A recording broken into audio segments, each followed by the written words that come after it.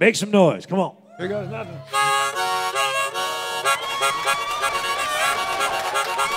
I truly believe music can change the world. Honest music is the only kind of music worth listening to. That's not even in the song. That's free. You get that free.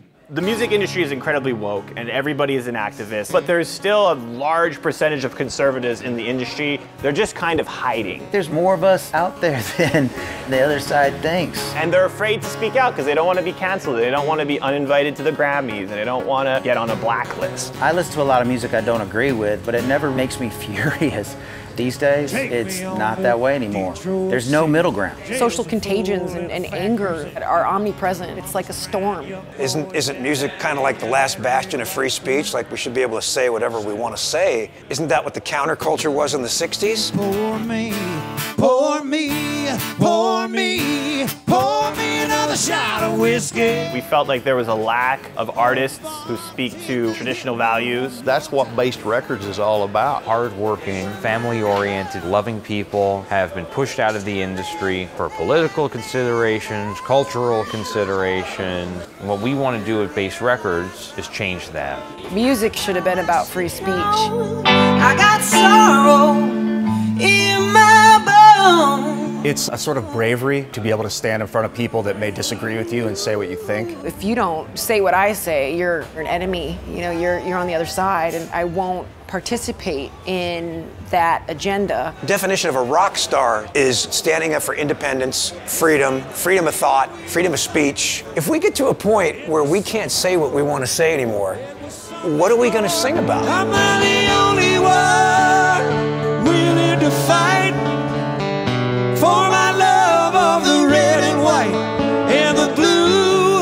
Baste Records bringing in some amazing talent. Artists that might have been canceled for standing by their principles. We want artists, creators, and the people who make music possible to thrive, survive, and ultimately participate in the music economy. We want to build an infrastructure, like-minded people who are freedom-minded. Artists who share our values, build a culture around that. And we wanted to bring music to people that want that. And they don't want the other thing. They want the good medicine. I like seeing things like Baste. It gives me hope. It's nice to know there's more people showing support for people like me.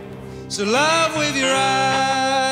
I'm just seeing a nation being divided, and I'm sick of it. Yeah, we're waking people up. You remember when we used to all hang out? Those days got to come back.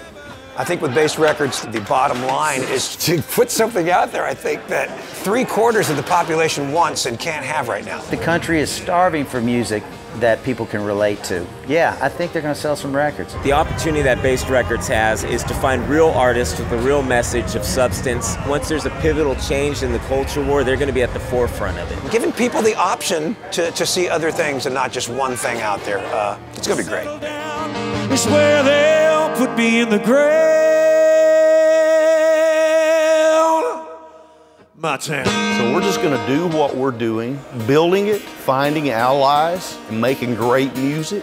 That's the dream. It can happen with just one right song at the one right time and the one right voice that's willing to put it out there. It, it can change a culture, but somebody's got to step up and do it. Music exists to tell a story, and we have to decide what that story is.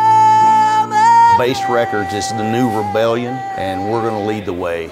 Everybody's welcome. Just make your work and put it out there and, and have fun because it's awesome.